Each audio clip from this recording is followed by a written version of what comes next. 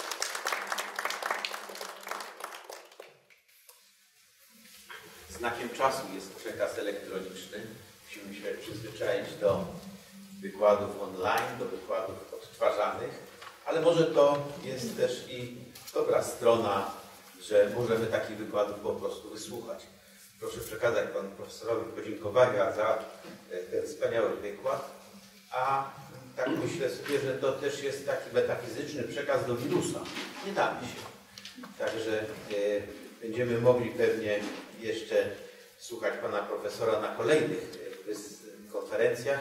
Mam nadzieję, że już w formie rzeczywistej. Aktualnie chciałbym zaprosić pana profesora Brole do wygłoszenia kolejnego wykładu już w formie rzeczywistej i wykład poświęcony będzie y, frenormologii, a mianowicie pokaż mi swoją czaszkę, a powiem Ci, kim za życia. Bardzo proszę. Dzień dobry Państwu. Na wstępie chciałbym podziękować Ewie i Piotrowi za zaproszenie do udziału w tej konferencji.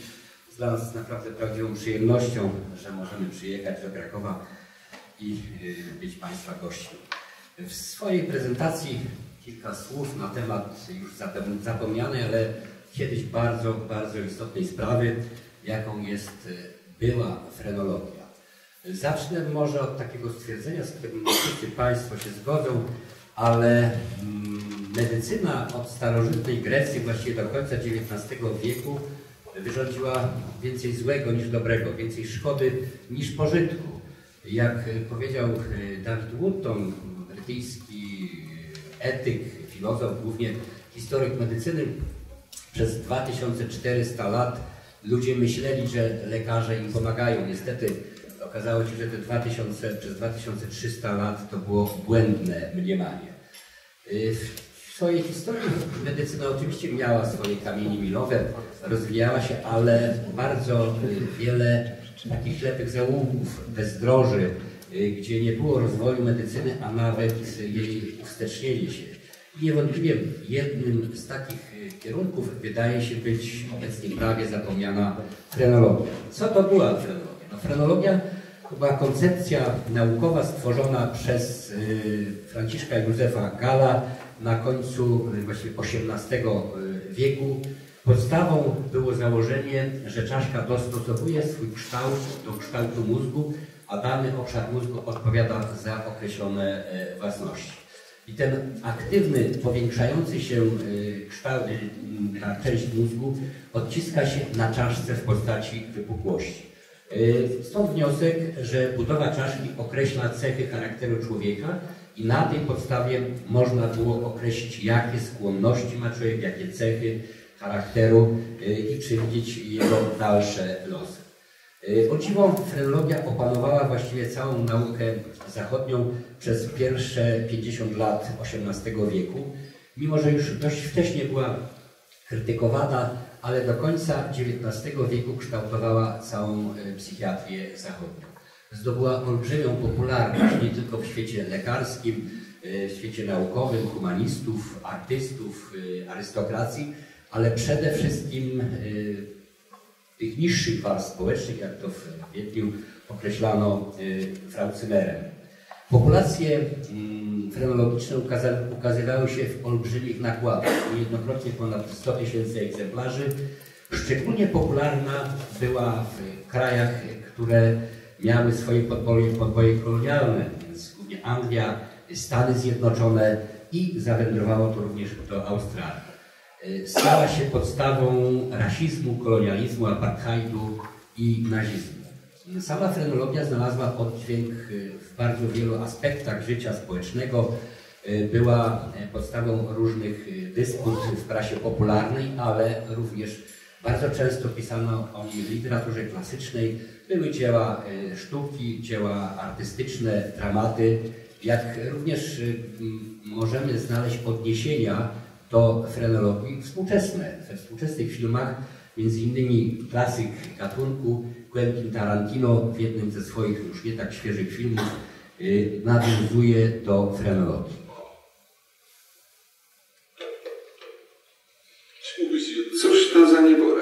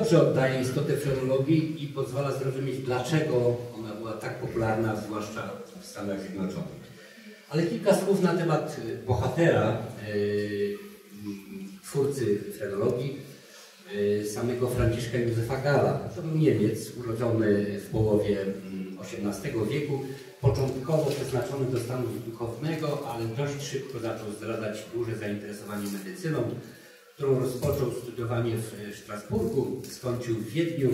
Był bardzo dobrym studentem, skończył z wyróżnieniem, doktoryzował się w 1800-1785 roku i zaczął właściwie swoją praktykę, kształcąc się dalej jako y, neuroanatom, prowadził studia porównawcze zachowań ludzkich, systematycznie badał chorych psychicznych w wiedeńskim zakładzie dla oponka.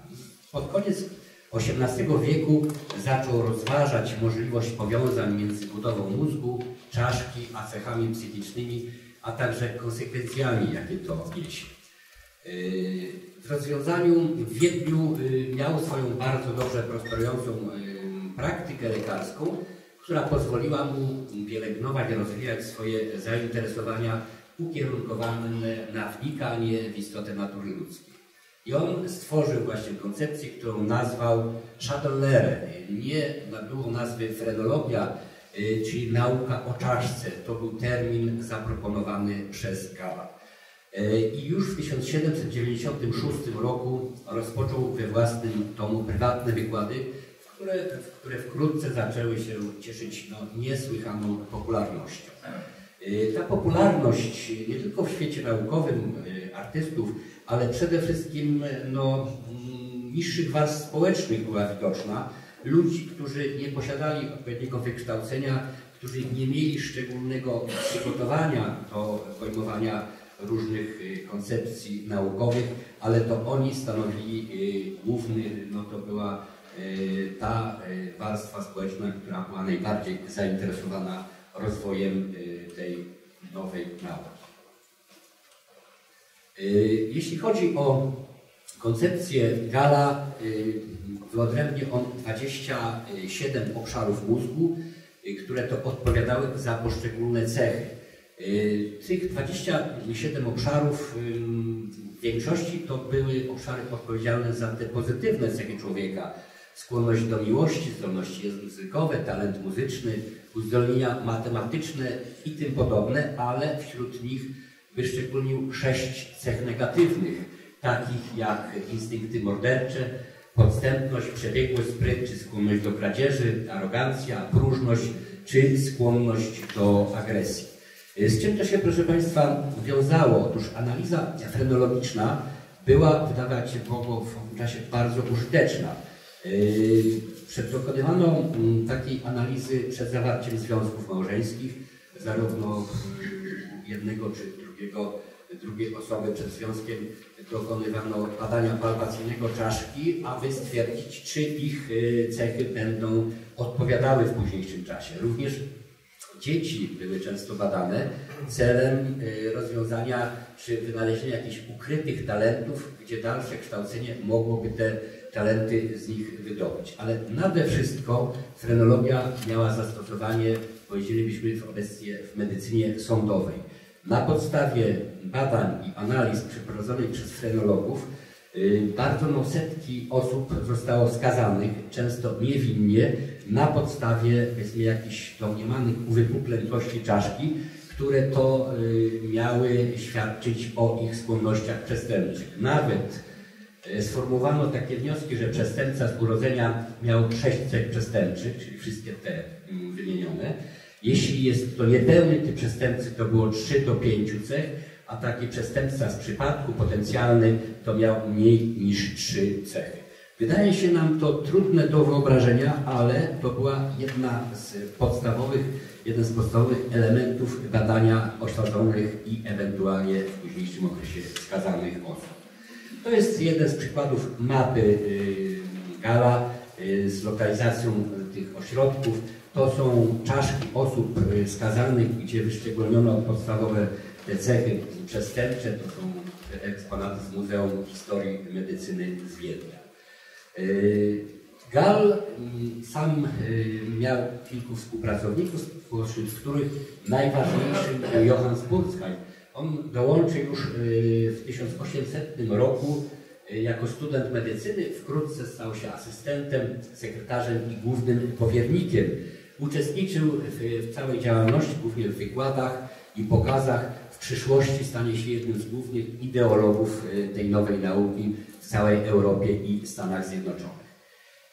To są ryciny z tamtego wieku pokazujące działalność Spurzheima, ale już na początku właściwie XIX wieku ta nauka uczestnikom oficjalnym, czyli cesarzowi Franciszkowi II, wydała się dość podejrzana i w 1801 roku w piśmie zwracał się z takim uprzejmą prośbą zabraniającą tych wykładów, gdyż wydawała się ta nauka prowadzić do materializmu i zaprzeczenia podstawom religii czy moralności.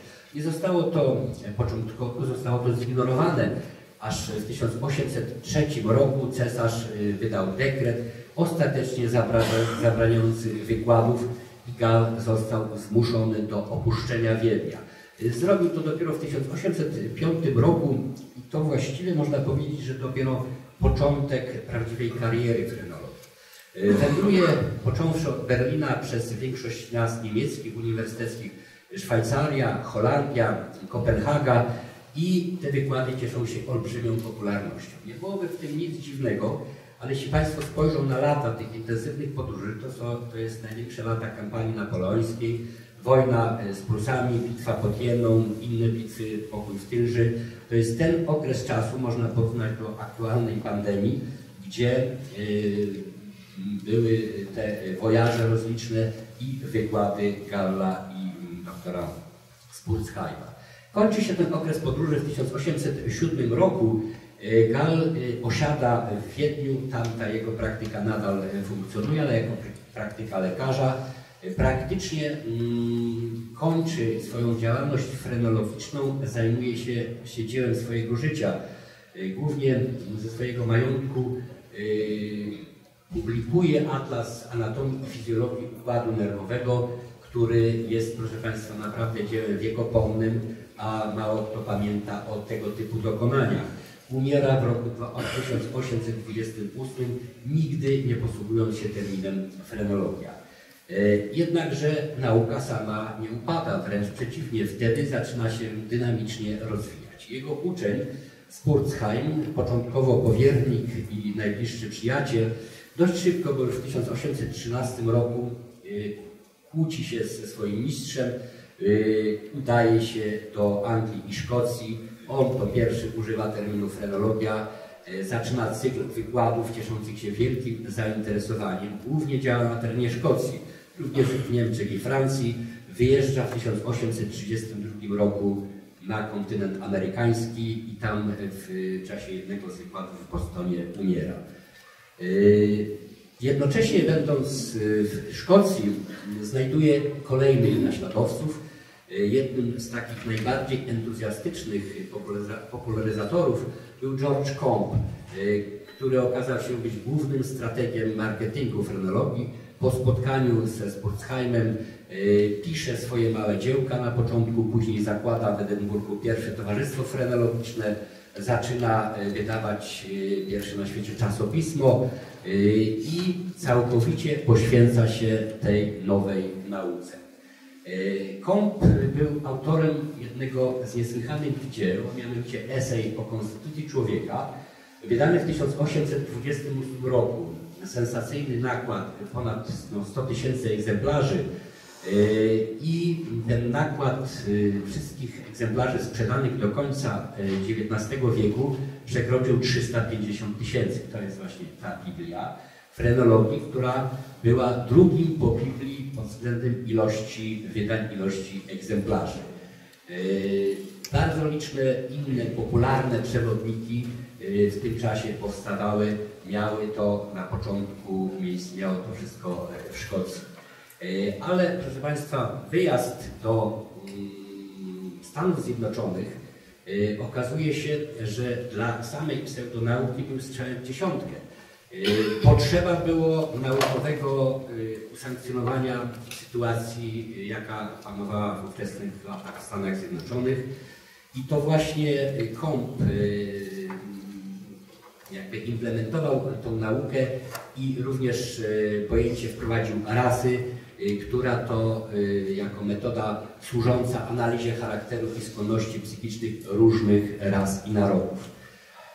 Dalszy etap, bardzo dynamiczny, 1833, bracia Fowler, Lorenzo Dorson pod wpływem i Spurzheima i Komba rozpoczynają zakrojoną na szeroką działalność, skalę y, działalność frenologiczną. Powstają jak grzyby po deszczu instytuty frenologiczne, początkowo w y, Nowym Jorku, później w Bostonie, w Filadelfii, w ogóle całe zachodnie, y, wschodnie wybrzeże. Zaczyna ukazywać się American Phrenological Journal, który ukazuje się bardzo, bardzo długo, proszę Państwa, i w nakładach olbrzymich.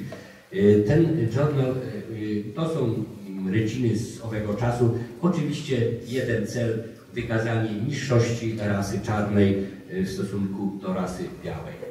Y, Jeśli chodzi o tę frenologię amerykańską, y, amerykańskie Towarzystwo Stanowe w Ohio istniało aż do 1938 roku.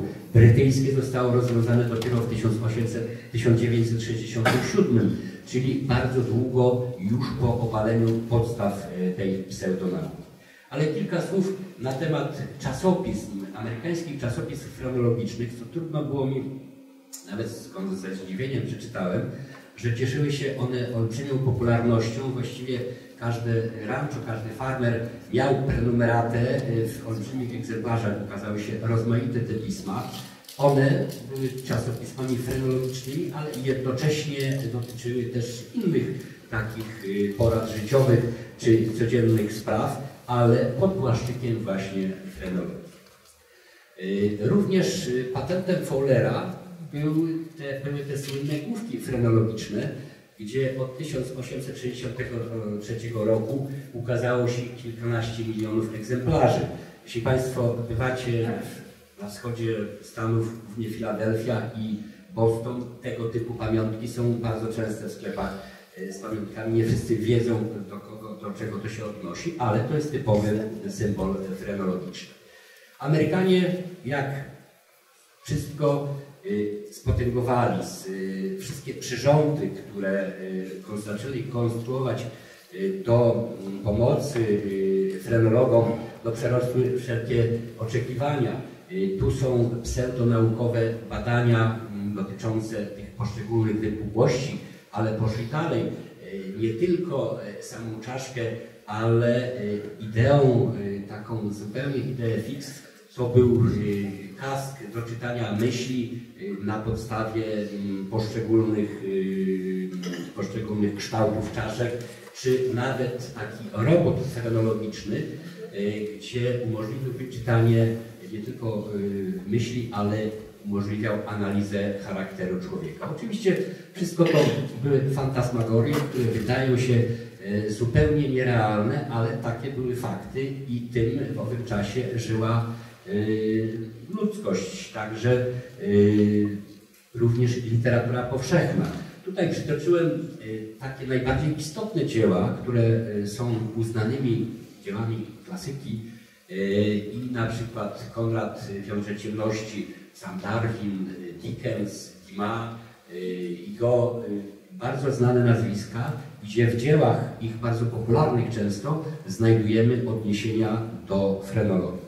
Mało tego, również w Kortianie Słowackiego, jeśli Państwo zwrócili uwagę, również są odniesienia do systemu stworzonego przez doktora Gala. Y, wydawało się, że koniec XIX wieku y, to frenologia zaczyna powoli popadać w zapomnienie, ale otóż nie. Zaczęły się tworzyć różne odmiany, różne niebezpieczne poglądy. Y, między innymi Cezare Lombroso w Geniuszu i Obłąkaniu, w swoim słynnym dziele opisuje różne metody fenologiczne, ale również Bernard, y, Bernard y, Hollander naukowe podstawy rasizmu publikuje.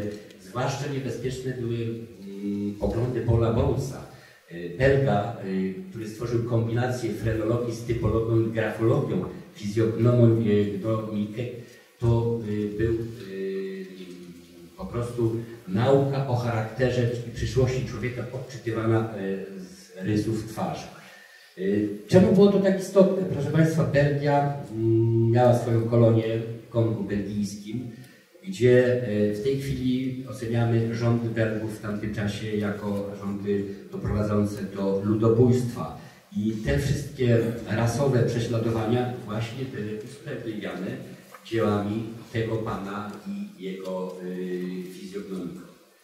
No i druga wojna światowa. To jest okres już znacznie odległy od szczytowych osiągnięć frenologicznych z połowy XIX y, wieku, ale naziści wrócili w postaci kraniometrii, metody stosowanej przez pseudonaukowców nazistowskich do selekcji rasowej i badań w celu zaszeregowania do jednego z kilkunastu typów rasowych Y, z najbardziej pożądanym typem aryjskim. Jedynie nieprawidłowy kształt czaszki miał być dowodem dla niemieckiej eugeniki o przydatności danego e, człowieka. Wiemy, czym to się skończyło. Badania kraniometryczne decydowały o życiu i śmierci ogromnej masy ludzi i były podstawą do totalnej dyskryminacji rasowej i ludobójstwa. Frenologia nie miała dobrej klasy od samego początku. Począwszy od cesarza Franciszka II poprzez y, krytyczne spojrzenie Napoleona Bonapartego, y, jednym z pierwszych głośnych głosów y, był głos François Magendiego, tego otworów w mózgu, który po raz pierwszy określił frenologię jako pseudonaukę. Również Paul Broca, który odcinał się od frenologii, jednak sądził, że ta lokalizacja jest prawdziwa, y, czyli no jak on był y, kontynuatorem, ale już w sensie naukowym y, lokalizacji poszczególnych ośrodków. Wyjątkowo mm, złośliwą krytykę głosił znany filozof George Hegel. Dopiero właściwie po II wojnie światowej w 1948 roku Komorski, Hebb odrzucili y, frenologię y, całkowicie i praktycznie w tej chwili y, czasem tylko słyszymy samą tą nazwę, a ten mój wykład ma Państwu przypomnieć, że mm, takie, taki kierunek w rozwoju medycyny też się zdarzył. Ale proszę Państwa, no, nie tylko złe strony miała ta nauka, a zwłaszcza postawa samego Gala należy oceniać ją dwojako. Y, sama frenologia miała rozwój, y, silny wpływ na rozwój prawdziwej nauki, typu neurologii, psychiatrii czy neuropsychologii. Y, natomiast utożsamianie Gala z frenologią jest upraszczaniem sprawy. W zasadzie on był znakomitym neuroanatomem i neurofizjologiem, stąd ten atlas anatomii i fizjologii, który po nim pozostał. Również jako behawiorystę czy psychologa, jak również antropologa i socjologa. Togal stwierdził, że człowiek posiada zdolność mówienia, że tylko jako jedyny posiada zdolność mówienia i tak bardzo rozwiniętą zdolność uczenia się, zmysł sprawiedliwości i nieprawości, jak również zdolność do wyobrażenia abstrakcyjnego. Na pewno frenologia odeszła już bezpowrotnie do lamusa naukowego, ale pozostawiła po sobie pewne następstwa. Y, Rozwijające się coraz bardziej metody y, diagnostyczne, zwłaszcza w ostatnim czasie mm, funkcjonalny rezonans magnetyczny, pokazał, że nie wszystkie założenia były błędne. Rozwój y, nauki badającej cytoarchitektonikę kory mózgowej pozwolił y, wyodrębnić znane nam y, powszechnie pola Krogmana, gdzie kora mózgu odpowiada za poszczególne funkcje człowieka i proszę Państwa, nie można bez reszty odrzucać założeń frenologa. Kora ma swoją cytoarchitektonikę, niemniej jednak żadna z tych stref nie odciska się na tyle na kości czaszki, powodując w niej jakiekolwiek uwypuklenia. Dziękuję Państwu za uwagę.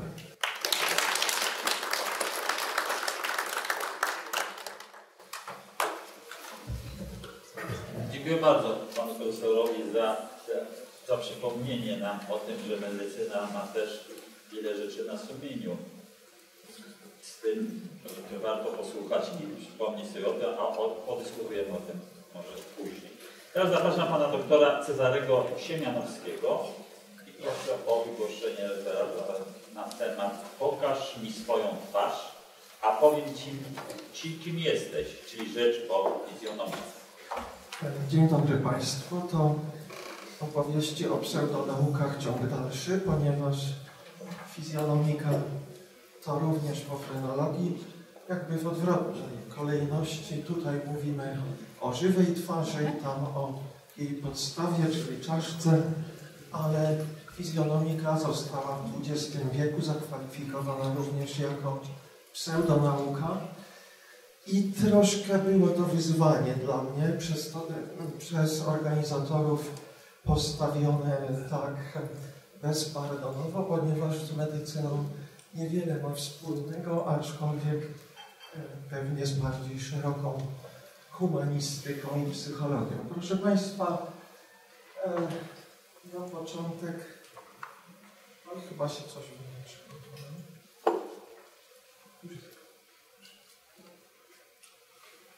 Na początek dwa truizmy lub dwa dylematy, bo pytania pewnie, e, odpowiedzi na te pytania ten, ta prezentacja nie rozstrzygnie. Pierwszy taki, e, mianowicie, że ludzka twarz jest główną składową fenomenu pierwszego wrażenia, czyli tego, co odczuwamy, jak odbieramy drugą osobę, spotykając ją po raz pierwszy w swoim życiu. I wydaje się, że nie ma mocniejszego budulca tego fenomenu, tego pierwszego wrażenia. Na tym bazuje tak zwana Ausdruck psychologii, to z niemiecka psychologia wyrazu, o której troszkę później.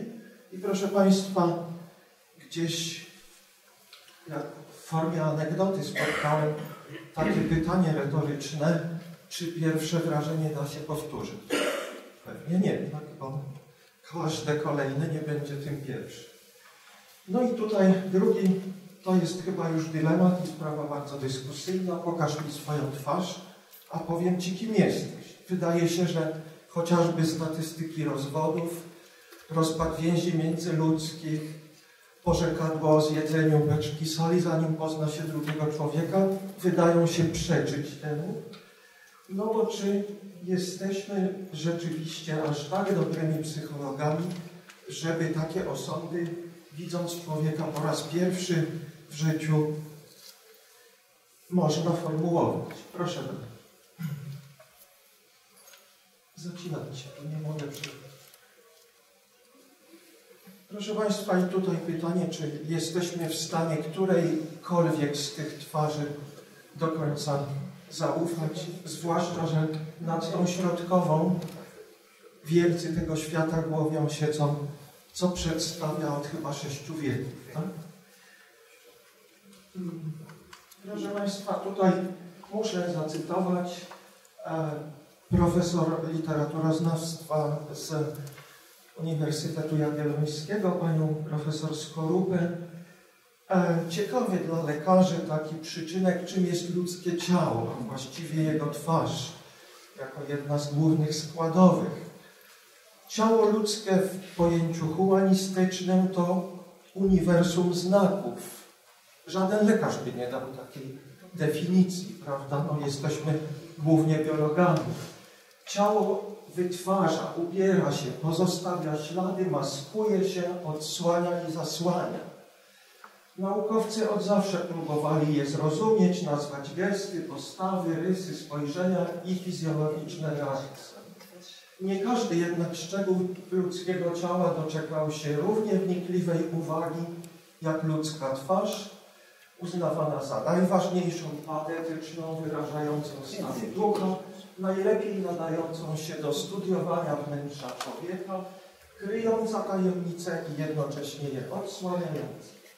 Twarz posługuje się własnym językiem, który znajduje się w pełni napięcia relacji domowej werbalnej i wszystko chce się z niej wyczytać. Charakter, afekty, namiętności, choroby, myśli i patologii.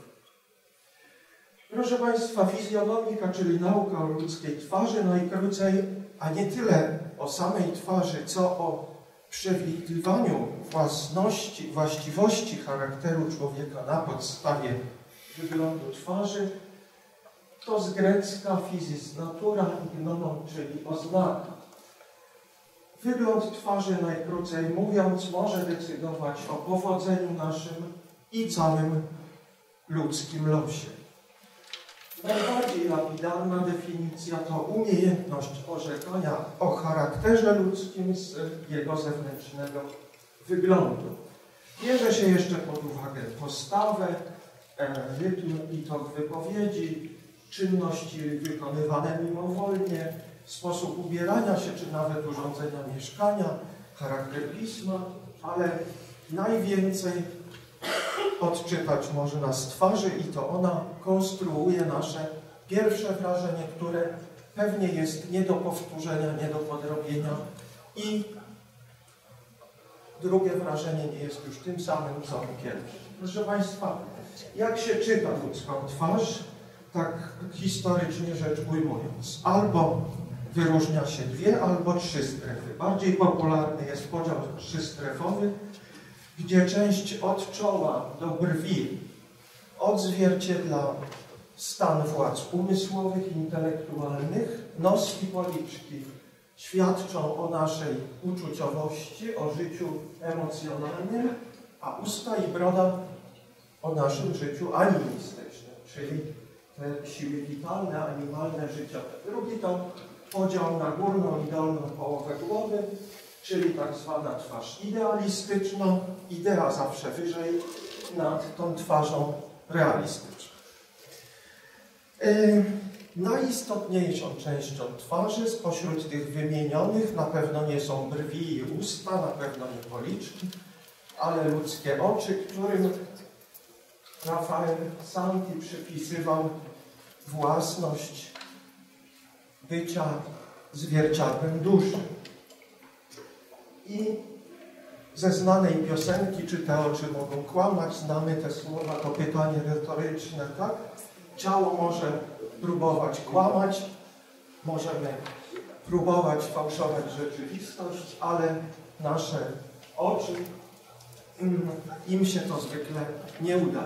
I tu są, proszę Państwa, dwaj wielcy włoscy przedstawiciele, dawny klasyka, tak i bardziej współczesny, nawet nawiązał w swoich pracach dawno temu do obecnych czasów. Proszę Państwa, i teraz rzut oka na przeszłość. Cofniemy się aż do Arystotelesa, ale zrobię to szybko. Zacznę od najważniejszego przedstawiciela, jakim był szwajcarski teolog i pastor ewangelicki Johann Lavater, który żył mniej więcej w tym samym i działał w tym samym czasie, co wspomniany przez pana profesora przed chwilą Gali. Proszę Państwa, jego dzieło monumentalne, które kodyfikowało tamtejszą tak zwaną wiedzę o fizjonomice statycznej, czyli twarzy pozostającej w bezruchu, zostało uznane za najbardziej epokowe i największe, jeśli chodzi o dzieje nauki o ludzkiej twarzy. Dzieło to ukazało się w Dreźnie w czterech tomach na przestrzeni kilku lat. Niestety nie doczekało się tłumaczenia na język polski do tej pory. Właściwie to były dwa dzieła, jeszcze drugie było o fizjonomice. Trochę, e, ale w tych samych latach wyszło troszeczkę wcześniej, poprzedziło to czterotomowe wielkie, które w Dreźnie się ukazało. Natomiast w krajach niemiecko i francusko i, i, i anglojęzycznych było do tego stopnia rozpowszechnione, że ci, którzy poszukiwali odpowiedzi, czy znaleźli właściwego kandydata na męża, żonę, lokaja nawet,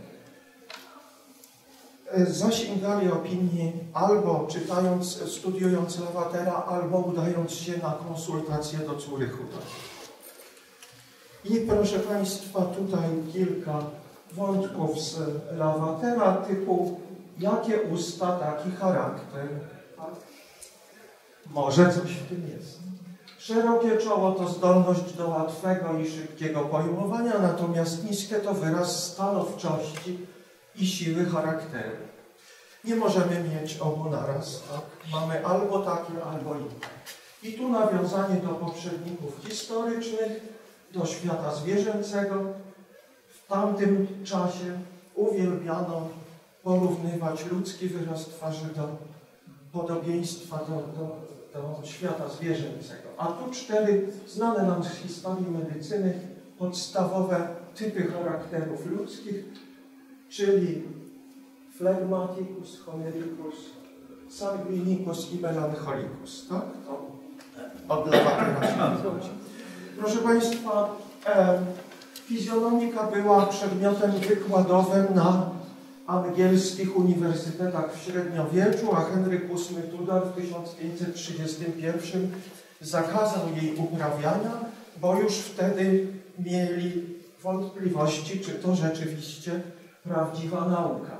Papież Paweł VI trochę później, jako że pokrewne te nauki były z astronomią, czyli czymś niekoniecznie związanym z prawowitą wiarą katolicką, trafiły na listę ksiąg zakazanych. I proszę Państwa, w XVI wieku fizjonomika naturalna oddzieliła się od astrologii i najwybitniejszym przedstawicielem tego nurtu był Gian Battista della Porta, w którego tezach pobrzmiewały, pobrzmiewały echa szkoły Arystotelesa, gdzie właśnie to proste porównanie ludzkiej twarzy do twarzy najbardziej przypominającego gatunku zwierzęcego mówiło już wszystko o człowieku. A w starożytnej Grecji za czasów Arystotelesa istniał zawód fizjonomistów, którzy na zlecenie elit mieli za zadanie wyłaniać najwłaściwszych kandydatów na odpowiednie stanowiska.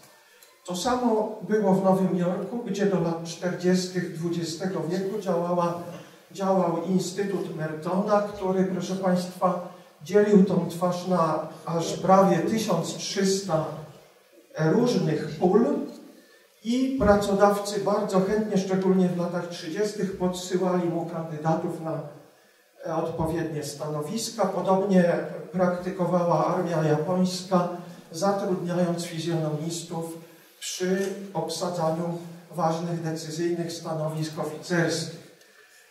E, ale jak widać, za czasów antycznych już ten pomysł e, nie był obcy. To dzieło Giambattisty de Porty i taki przykład. Proszę bardzo, podobieństw, tak, do różnych gatunków zwierząt, co wywodziło się aż od Arystotelesa. Tak? Jak się dobrze przypatrzymy, to pewnie się znajdzie. Proszę Państwa, i co po Lawaterze i po, po jego dziełach, jaka dalsza spuścizna? Na e, gruncie tej e, fizjonomiki statycznej wy, e, e wyewoluowały kolejne, e, kolejne jakby gałęzie jej, czyli nauka badająca znaczenie ruchów twarzy, które odzwierciedlały już aktualne jej emocje, czyli patognomika. Jej twórcą był Georg Christopher Lichtenberg, który był największym polemistą nauki Lowatera. Ona była określona jako semiotyka afektów i bada głównie zachowanie się tych miękkich części ludzkiego oblicza pod wpływem aktualnie działających na nas emocji. E, Kolejne jakby nurty to mimika i gestyka, które również składają się na to zjawisko pierwszego wrażenia, które do tej pory e, są brane pod uwagę w tej e, psychologii wyrazu.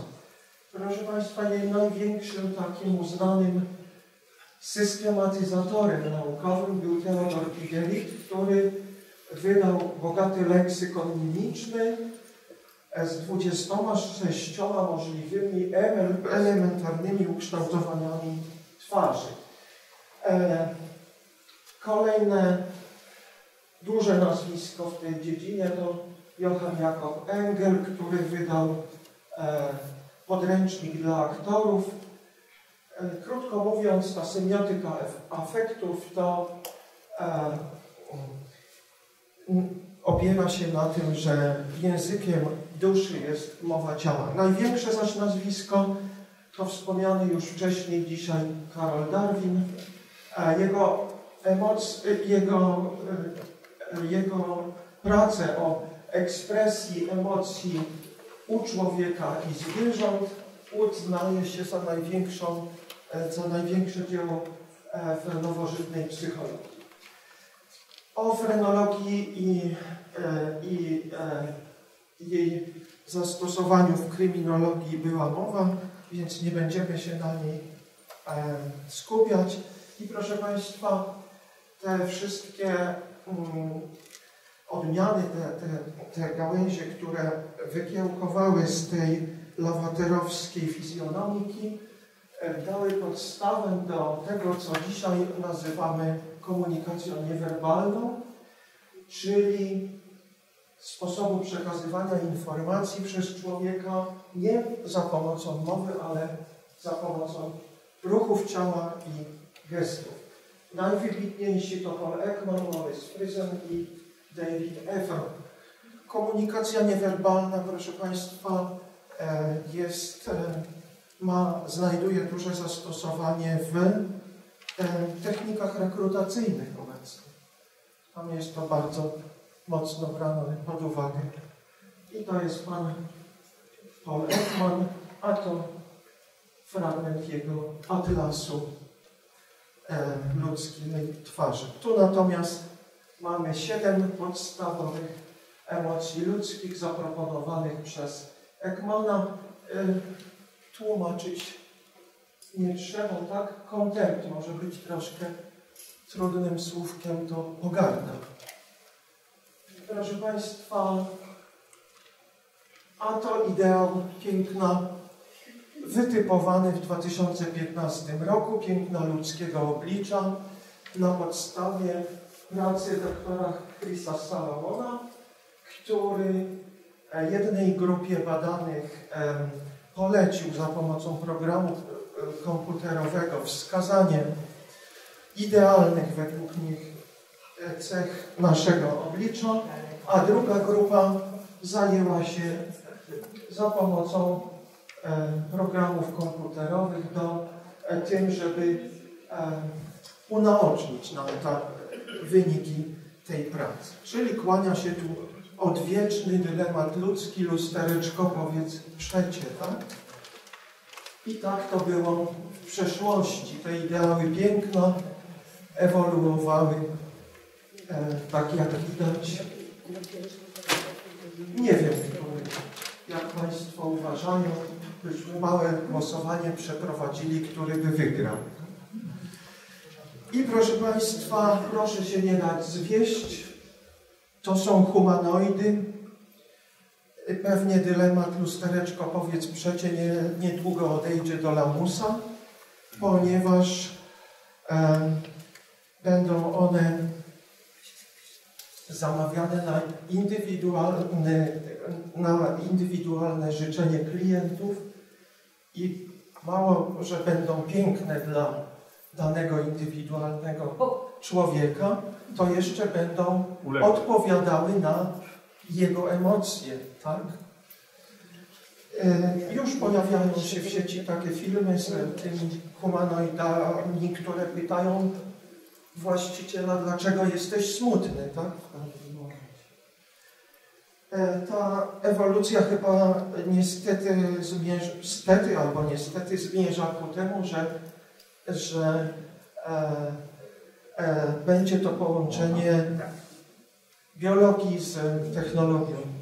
Proszę Państwa, i fizjonomika odbiła się bardzo na sztuce, o czym Pan Profesor Brola wspominał. Tu wielkie nazwiska, również polskie, e, które e, ten nurt fizjonomiczny w literaturze i sztuce prezentują. A to jedno z e, największych film i powieść, tak? O pogoni za wieczną młodością. Tutaj kilka wyjątków do zastanowienia. Czytał nie będę. Chwila ciszy.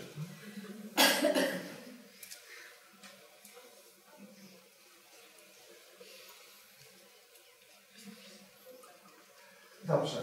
To są nauki, bo nie tylko sztuka, ale e, ta fizjonomika miała również wpływ na te nauki, również o których mój przedmówca wspominał i na nasze dziedziny, te, którymi jesteśmy najbardziej zainteresowani, również miała spory wpływ.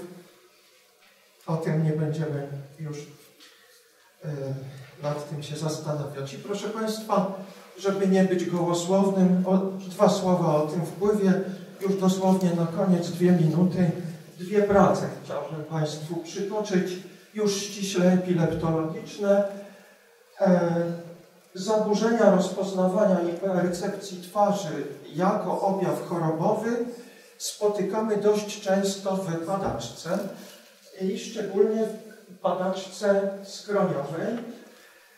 Tutaj autorzy stwierdzili, tylko sam wniosek, że u 72% spośród badanych pacjentów, którzy przeszli leczenie operacyjne amygdalohipokampektomią z powodu padaczki przyśrodkowej części pałata skroniowego, prezentuje tożstronny niedowład emocjonalny twarzy. Proszę Państwa, zaraz o tym powiem, co to jest niedowład emocjonalny nerwu twarzowego a przeciwstronne aż 86%, a jego występowanie znacząco koreluje z dłuższym czasem choroby przed podjęciem leczenia operacyjnego i u chorych po zabiegu lewostronnym, tam gdzie lewy płat skroniowy był operowany. Autorzy sugerują, że nienaruszona półkula prawa i zmiany patologiczne, które prowadzą do lekoopornej padaczki skroniowej, ale obejmujące większą część mózgu niż, tylko przyśrodkową część płata skroniowego, mogą leżeć u podłoża łatwo e, przez nas wychwytywalnego w badaniu fizykalnym niedowładu mimicznego. I ten niedowład mimiczny to jest coś takiego, co ujawnia się w trakcie rozmowy z pacjentem. Nie wtedy, kiedy prosimy go, żeby wyszczerzył statycznie zęby, badając, czy nie ma centralnego niedowładu nerwu twarzowego, tylko wtedy, kiedy on swobodnie z nami rozmawia, uśmiecha się, e, ta mimika jest żywa, kiedy gestykuluje. Tak? I tutaj są przykłady. Neurologom nie muszę tego tutaj wskazywać. Tak? Na każdym z tych rzędów mamy przykład takiego niedowładu. Tak? Proszę Państwa, i Druga praca, e, której autorów miałem przyjemność poznać kiedyś praktykując w ośrodku bolońskim w e, e, klinice pana profesora Tassinariego, Stefano Meletti i współpracownicy ogłosili taką pracę i za to oni, tych prac ukazała się cała seria. e, dostali prestiżowe nagrody Międzynarodowej Ligi Przeciwpadaczkowej i oni badali e, zdolność osób z padaczką lekooporną do rozpoznawania podstawowych emocji, e, które w ekspresji twarzy możemy wychwycić. Tak? I okazało się, że szczególnie te zdolności rozpoznawania emocji negatywnych, takich jak gniew, e, przestrach, lęk, u osób z tą przyśrodkową postacią e, padaczki skroniowej e, są zjawiskiem częstym i wczesny początek choroby oraz prawo lub obustronne stwardnienie e, tej e, przyśrodkowej części płata skroniowego prowadzi do poważnych zaburzeń emoc- e, rozpoznawania emocji ludzkiego oblicza. Kończąc, proszę Państwa, myślę, że niedaleka przyszłość będzie taka, że powiemy człowiekowi, pokaż mi swoją twarz, a powiem Ci, jaką chorobę masz, tak? I o tym chyba mój następca chwilę. Dziękuję bardzo.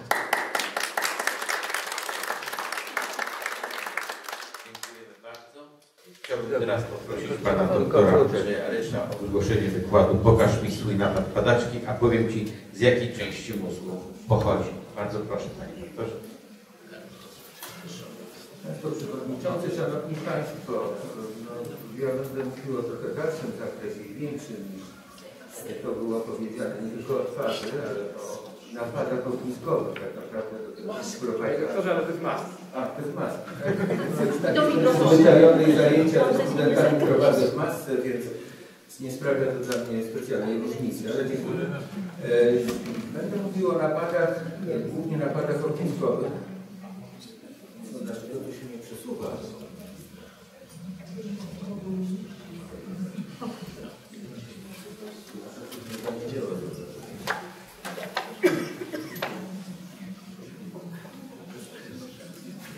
A, czyli w ten sposób, tak dobrze. To przesuwa. Okej. E, Klasyfikacja napadów, dobrze Państwu znana, e, w sumie bardzo uproszczona, jeżeli chodzi o napady ogniskowe, z zachowaną lub e, bez e, lub nie świadomością. Jeżeli pacjent na chwilę traci, traci świadomość na, czasie napadu, możemy powiedzieć, że jest to na pewno napad z utratą świadomości. Jeżeli natomiast, e, mimo że wydaje się, że jest nieruchomy, ma Mm, e, Mamy wrażenie, że on jest nieświadomy, jego twarz czy jego wygląd na to, to sugeruje, ale jest w stanie przetworzyć i powiedzieć o tym, co się działo. Jest to napad bez utraty świadomości. Ja dla potrzeb tego wystąpienia e, podzieliłem napady padaczkowe może na nie tyle ja, ile Luders Jeremy Engel wprowadzili podział na napady, które się zaczynają w układzie limbicznym i napady, które są w nowej, z nowej kory.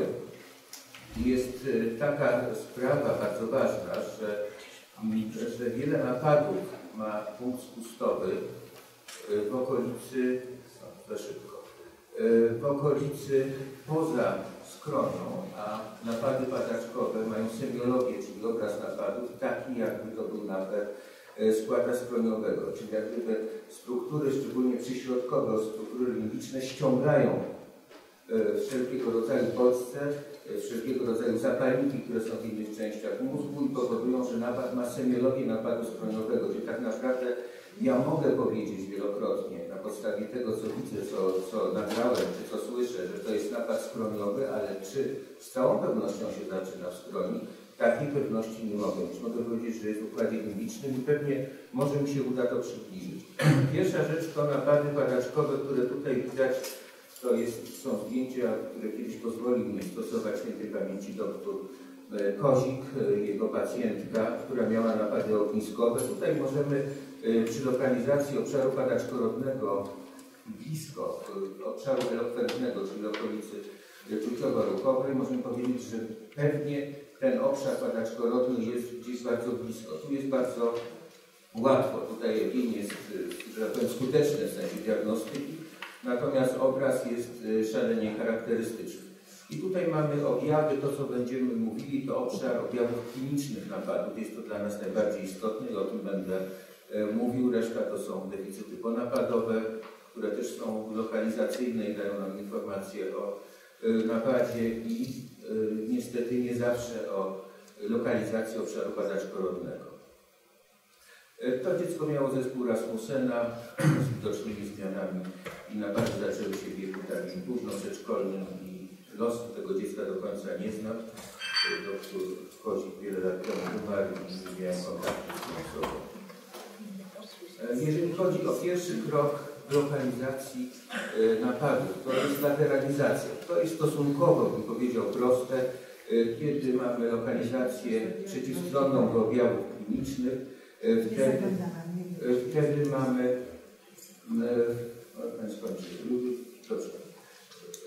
Mamy objawy czuciowe, motoryczne, mamy ustawienie głowy, ustawienie oczu, mamy objawy związane bezpośrednio z przebiegiem napadu i objawy ponapadowe, które tutaj opisałem. Druga rzecz to może być lokalizacja tostronna po stronie y, półkulowa i w tej sytuacji y, my mamy zlokalizowane jednostronne automatyzmy. W wielu napadach, które szerzą się czy są składa skroniowego, tak bywa. Bywa też, co jest nie zawsze, ale dość charakterystyczne, zdarza się, że pacjent w czasie napadu mruga czy porusza powieką jednego e, jednostronnie. To jest lokalizujące bardzo dobrze lokalizację tożstronną do obszaru początku napadu. No i trzecia rzecz taka, która bardzo jest przydatna i często e, spotykana, to w momencie, kiedy napad się już kończy albo skończył, pacjent ręką tożstronnie do do obszaru badaczko-rodnego będzie manipulował przy nosie, pociera tu ręką o, nos. I trzecia rzecz to półkula niedominująca dla mowy. Tutaj to wszystko, co jest napisane, to jest być może tak jest. Wymioty, y, teraz ostatnio y, słyszałem y, y, y, Patryka Kłana, który no, wycofał się z tego, bo kiedyś on bardzo to preferował. Pomruki w czasie napadu, w czasie, mowa w czasie napadu, moim zdaniem bardzo lokalizująca półkulę, skąd się zaczynają napady, ale też wielu, wielu autorów uważa, że tak niekoniecznie jest. Śpiew w czasie napadu rzeczywiście e, wydaje się, że to półkula niedominująca, tak jak mowa, ale bywa, że w dominującej półkuli też pacjent śpiewa w czasie napadu. Takie napady mam zarejestrowane. No oczywiście półkula dominująca dla mowy to zatrzymanie mowy, czyli pacjent nie powie nam o tym, że się zaczyna napad na przykład. Kiedy przy lokalizacji spółkuli, yy, spółkuli niedominującej dla mowy będzie nam o tym mówił. Ponapadowa, długa afazja zaburzenia mowy też są charakterystyczne dla mistrza napadów dominującej dla mowy półkuli. I teraz ważna rzecz, jeżeli chodzi o wygląd oczu. E, I e, to jest taki krótki dość moment w napadzie skroniowym, trochę krótszy nawet w napadzie czołowym, długi w napadzie rzekomo badaczkowym i charakterystyczny w omdleniu. I na podstawie tych obrazków można wiele już powiedzieć, patrząc na, na pacjenta, z jakiej okolicy napad prawdopodobnie wyszedł, jego objawy kliniczne wyszły, bo tutaj, tak jak mówiłem, są obszary, które, które ściągają Y, zaczynają się gdzieś indziej, w, okresie, w obszarze niemym kory, który nie daje żadnych objawów charakterystycznych albo w ogóle, natomiast e, przechodzą do struktur e, przy środkowym kory, do układu skroni, czy też w ogóle do układu mimicznego i wtedy mają bardzo charakterystyczny obraz. Napady, które są stosunkowo łatwe do rozpoznania, czasami trudne do zarejestrowania bez inwazyjnych badań, to napady z nowej kory, napady czołowe, napad u pacjentki, która nigdy nie miała zmian PEG, która była traktowana jako osoba z napadami szybkościowymi. Może być mnóstwo zajęć, ale dla przyjaciółki zawsze wystarcza. Wyjątkowo średnia przyjaciółka, aż 104 strony sylwetki. Sylwetki To jest fragment napadu. Oczywiście ona oglądała telewizję wtedy. Szybki powrót, bardzo częste napady, szybki powrót po napadzie, który trwał jeszcze około minuty. I tego typu napady nazywamy hyperkinetycznymi. W rezonansie zmiana znajdująca się boczno-podstawnej części płata czołowego, która była dysplazją korową, która usunięcie tego obszaru wyleczyło pacjenta. Oczywiście w tej chwili e, funkcjonuje. Inny napad, ta pani funkcjonuje w Polsce jak najbardziej, wręcz miała zawsze pretensje do nas, że straciła przez nas rentę.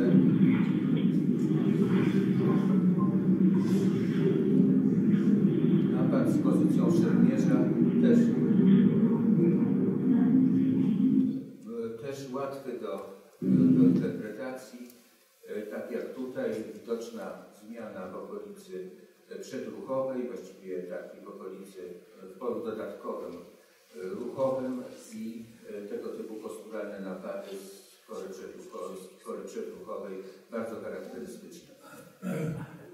Teraz tak, oczywiście w tych napadach czołowych, tak jak poprzedni pacjenci, są objawy, które sugerują początek. Tamta czuła, czuła bardzo szybko, się zaczynał napad, przechodzenie prądu przez plecy i wręcz bólu, stąd takie przy zachowanej jeszcze świadomości wygięcie. E, Tutaj pacjentka, mimo że napad był z ciemieniowego i pewnie się szerzył się do płata, płata czołowego i szerzył się e, poza układem limbicznym dochodziło do objawów wegetatywnych, być może szerzył się do kory wyspy, gdzie tego typu objawy mogą występować. E, Teraz inny napad, który bym chciał pokazać, który jest, jest też charakterystyczny i może coś nam powiedzieć. To są fragmenty napadu, dlatego początek napadu ona odczuwa duszność i chwyta się za szyję. Pokazać, że coś się dzieje. Jest świadoma gdzieś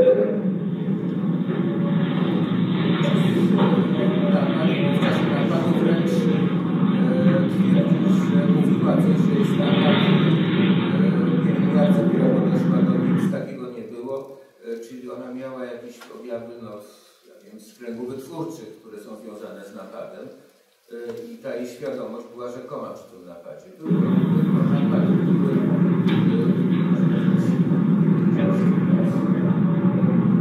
E, pacjentka miała, e, miała zmianę, która była dysplazją korową w okolicy tylnej części kory wyspy.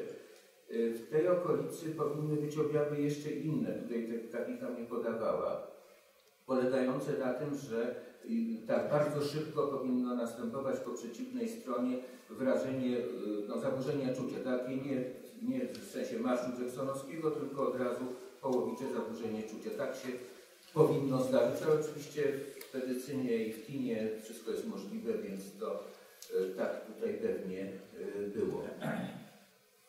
I inny napad, który jest taki już bardziej spektakularny, to akurat y, jest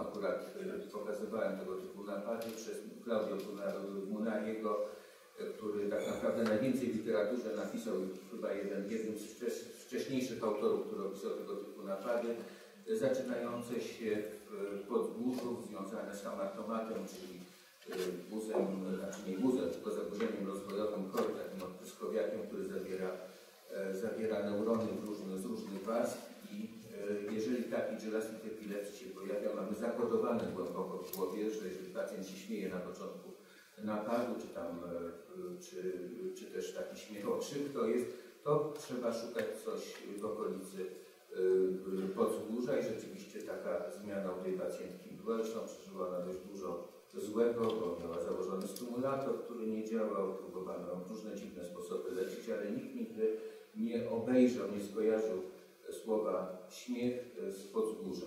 Aczkolwiek bywa tak jak u innej pacjentki, która to jest to stare zdjęcie i warto zobaczyć, też są e, objawy bardzo podobne, tylko ten śmiech się trochę jeden i drugi różni. Jak Państwo byście spojrzeli na ten śmiech i tamten śmiech, to nie są takie same śmiechy.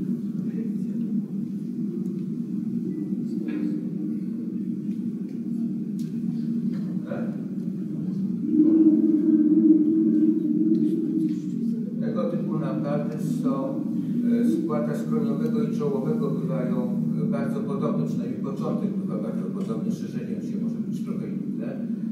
E, I e, tutaj e, możemy, się, możemy ocenić, na przykład ten wyraz twarzy to był taki moment, kiedy najbardziej widzimy uśmiechniętą twarz pierwszej pacjentki i drugiej, który jest zupełnie inny, ma wyraz. To u góry to jest taki śmiech bez radości, taki, taki no ja wiem, nieszczery bym powiedział, a tutaj mamy uśmiech taki osoby pełnej radości, mimo że chwilę później miała napad, który, się, który przyszedł napad kloniczny, czyli jak gdyby wyglądał zupełnie, zupełnie inny. Także tutaj na tej podstawie możemy coś powiedzieć na temat lokalizacji. Jeżeli pacjent przy napadzie się śmieje w sposób taki no, sztuczny, to pewnie jest to pod wzgórzem. Jeżeli jest to śmiech, który jest przyjemny, spontaniczny, no to wtedy pewnie będzie okolica skroniowa albo czołowa. Padaczka spłata ciemieniowego, czyli te, które zaczynają się pierwotnie w okolicy ciemieniowej. Pacjent miał napady, oczywiście z takimi napadami, jak ten pacjent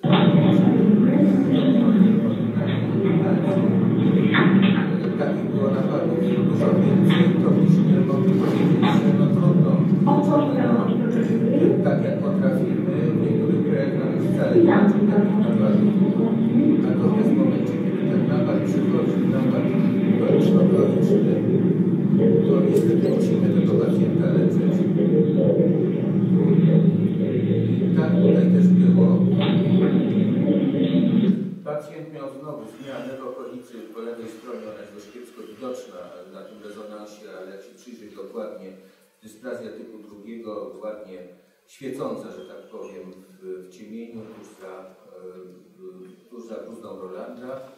Pacjent był operowany, był rozbudzony w czasie operacji, miał nawet miał tak dużo napadów, że udało nam się przy kortykografii rzut operacyjnej zarejestrować napad. Wyjątkowa rzadkość przy dużej częstości napadów jest to możliwe i też bardzo ładnie początek napadu w okolicy, tuż, tuż za okolicą czuciową. I inny napad, też z dodatku, to już powiem za chwileczkę, który, który pacjenta, który dość tragicznie, przepraszam, tutaj o właśnie,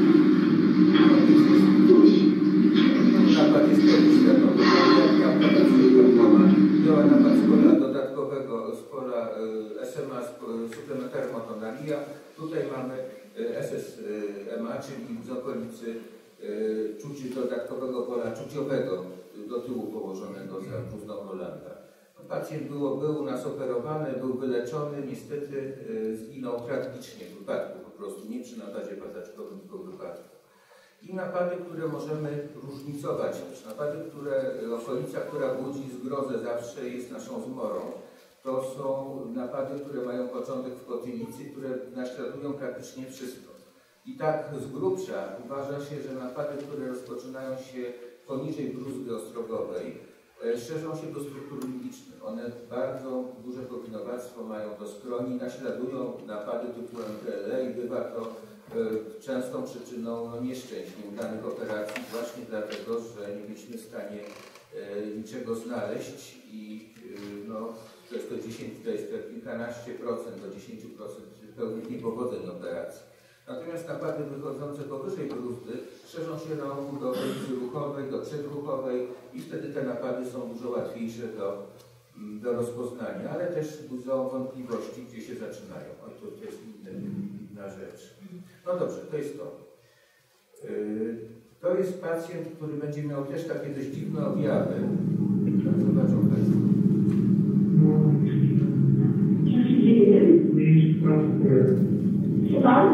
No tak. Pacjent jest leworęczny, dlatego też mówił, to jest leworęczny, to jest leworęczny.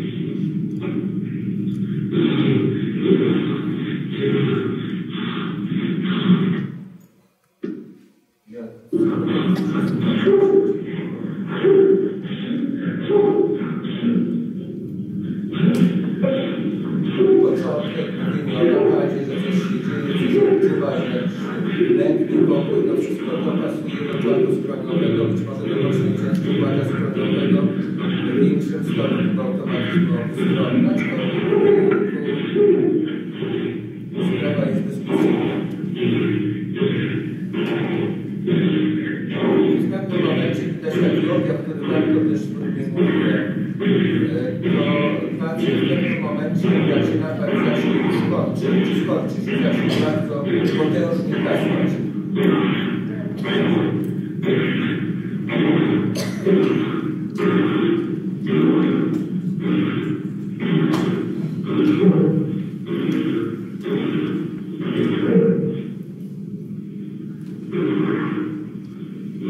No to też jest objaw typowy, potwierdzający napad gorączkowy, to jest taka problem. Wynikający z podwyższenia znowu struktury KRS.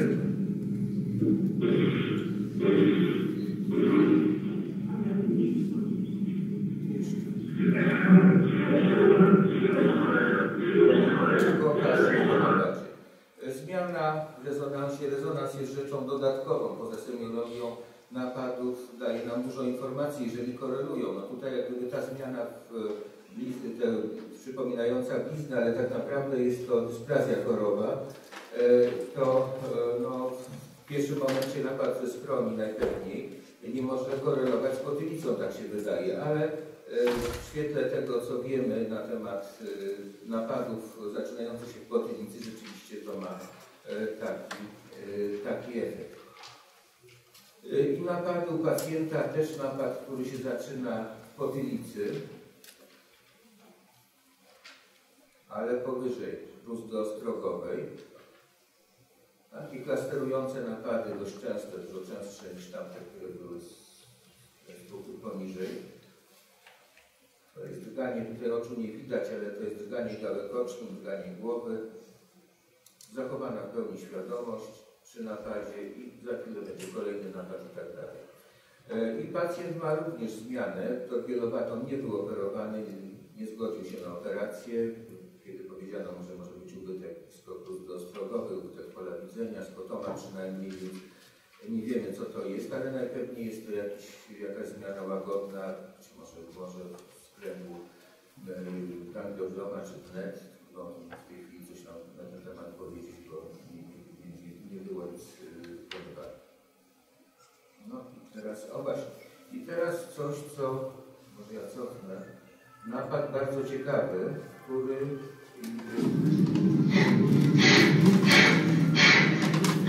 tak, potwierdzenie tego, wszystko zbiera logiczne.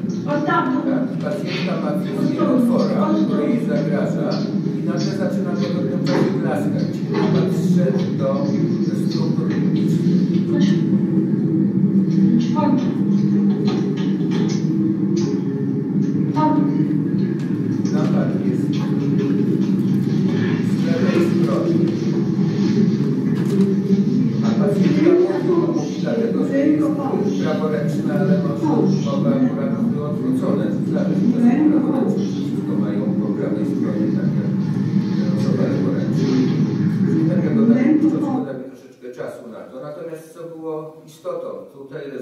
czynnikiem, który no, zmylił, bo podejrzenie i to takie bardzo mocne, że tu jest twardienie hipokampa, opisane dokładnie, a semiologia napadu zupełnie nie pasuje. No i okazało się, że ona ma owszem, ale dysplazję w skroni, natomiast hipokamp jest bez zmian, także e, no, pewne klocki Lego czasami się układają dobrze, czasami no, się je nawet są podobne, nie można ich dobrze ułożyć. I na, na, napady limbiczne, których e, będę, o których będę mówił, padaczka typu MTL. E, tylko proszę pamiętać, że e, żeby nie, e, że nie ma czegoś takiego jak padaczka MTL, e, która na pewno musi mieć stwardnienie hipokampa. Tak może być, I to nie są moje słowa, to są osoby, która opisała w 1997 roku. Jeremiego Endela kiedyś, kiedyś go zapytałem w Lyonie na jednym z nowofizjologicznych zjazdów. Tak od razu wyskoczyłem, że to stwardnienie hipokampa występuje i coś, coś tam, coś tam. I on od razu do mnie podskoczył i powiedział absolutnie nie, yy, to nie jest warunek yy, konieczny, to jest warunek dostateczny. Są padaczki z przyśrodkowej części skroni, wcale nie ma e, stwardnienia hipokampa. Także on to, na to bym zwrócił uwagę. Jest taka forma, którą się uważa, że to jest MTLS, y, HS, czyli stwar- stwardnienie hipokampa, ale tak wcale być nie musi. Te objawy, które są tutaj opisane, to jest truizm, to automatyzmy, to stronne dystonia po przeciwnej stronie, tylko proszę pamiętać słowo y, toniczne napięcie to może być tak, jest zaciśnięciem rąk, ale dystonia to jest wygięcie ręki, tak albo tak i wtedy mówimy o dystonii. To jest y, taka subtelna różnica, o tym warto y, pamiętać. Dystonia to są, to są antagoniści jednocześnie działający, a toniczny skutk to jest jedna, jedna grupa mięśni. I teraz tak, pacjent, który no jest jak gdyby też potwierdzeniem, że może być sytuacja chociażby prozaiczna, taka jak tutaj. MTL łatwy do rozpoznania automatyzmy, ręka ustawiona po początku, bo to jest kolejny napad, te samym wygięciu. Później napad się y, przeszedł napad kloniczno-kloniczny, najpierw jednostronny, będzie tkanie kącikołus pokazane w tym napadzie. Dalej go nie będę pokazywał właśnie. I szerzenie się napadu. Natomiast jaki problem tutaj jest? Pacjent miał y, kawernome w, okolicy hipokampa. Zdarzyć się tak może. Może tam być y, gangiobloma czy wnet. Wszystko jest, bo wszystko jest y, w życiu możliwe. W medycynie, jak już mówiłem, wszystko też jest możliwe, więc warto mówić o tym, że i sam kawernoma w sobie nie jest głównym, który powoduje, czy zmianą głównym, no, naczyniakiem, który sam w sobie powoduje napady, tylko te napady muszą wychodzić z zakrętu parahipokampalnego, czy tam z dali gdzieś jest No teraz tak, y, tak wygląda jego mózg operacji. Y, Tu kawernoma było to dość proste i objawy, które występują w napadach z środkowej części skroni. Tu jest tak, napad gdzie ma automatyzm do strony lewej głowa ucieka w kierunku. Y, To ma, Państwo by się zastanowili dlaczego, to takie nawet pytanie, bo y, na początku napadu skręt głowy może być w kierunku ogniska padaczkowego. A dlaczego to anatomicznie można sobie wyjaśnić na podstawie traktografii zresztą, ktoś się uparł. E, I teraz tak, może być tak jak tutaj, pacjentka ma aurę rękową y, i e, napad już zrobimy się szybko, niech Pan przyjdzie do mnie. Dobrze, kochanie, leż spokojnie.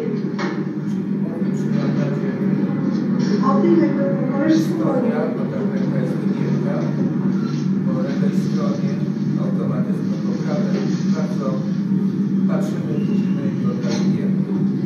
E, tak, to o tym, o tym, że tak powiem, wszystko przed sekundą mówiłem. I ciekawy napad pacjentki, która, e, tu też nie będę pokazywał, to jest stare zdjęcie, ona już e, stąd te różne jakości, bo to nie są zbiory z lat e, dwóch czy trzech, czy pięciu, prawie.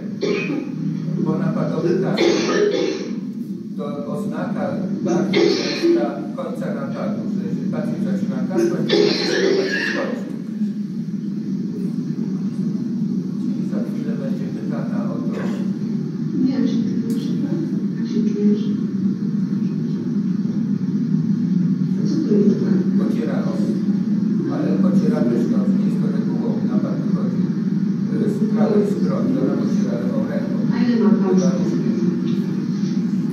No właśnie, taka bardzo inteligentna zresztą pacjentka. E, teraz, teraz tak, już to pominę, tu jest bardzo długi napad e, u pacjentki, która miała gangliobloma e, w płacie skroniowym.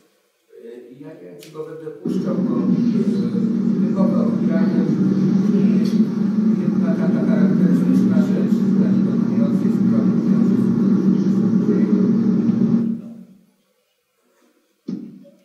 Kończysz,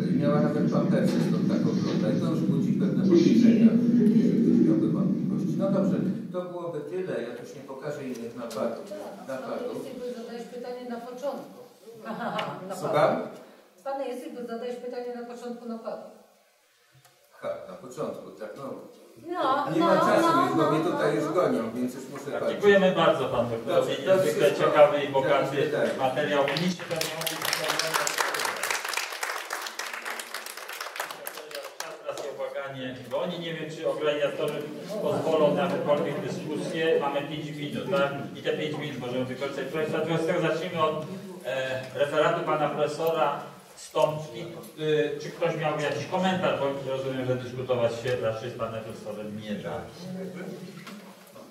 Myślę, że, myślę, że będę wielolicielem wszystkich Państwa.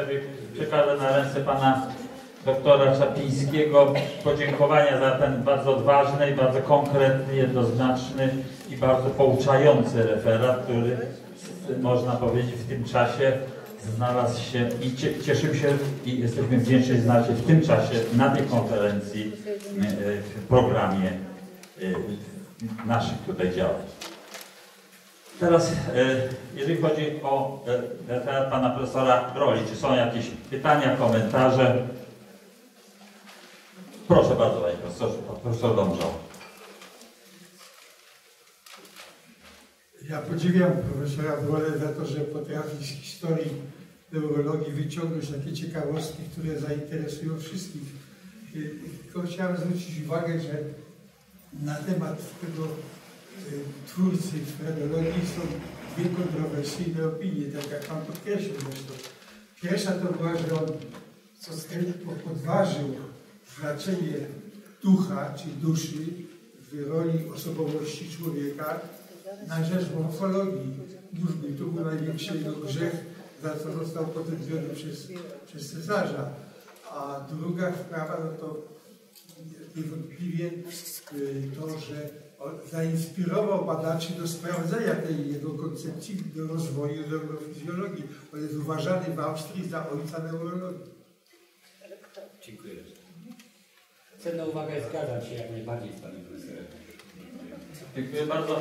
Ja chciałbym tylko Cię zapytać, czy to nie jest duże uproszczenie, że dzisiaj łączymy e, osiągnięcia Gala i jego podobnym e, z dzisiejszą, e, z dzisiejszą tą, e, w, m, neurologią czynnościową, czyli tą, która się opiera na faktach, która tworzy i e, pokazuje nam te ośrodki, czy przeniesienie koncepcji, która nie miała żadnych dowodów na koncepcję, która dzisiaj jest budowana o ośrodkach mózgu jest no, możliwa i powinna, i powinna w ten sposób być interpretowana. To zdecydowanie uproszczenie. No, y, miał koncepcję, miał pomysł, który był zupełnie błędny w realizacji, bo jak wspomniałem, żaden y, ośrodek nie odciska na tyle swojego piętna, że jest to wyczuwalne na czaszce, ale sama teoria, że są ośrodki w korze, no, potwierdziła się z czasem.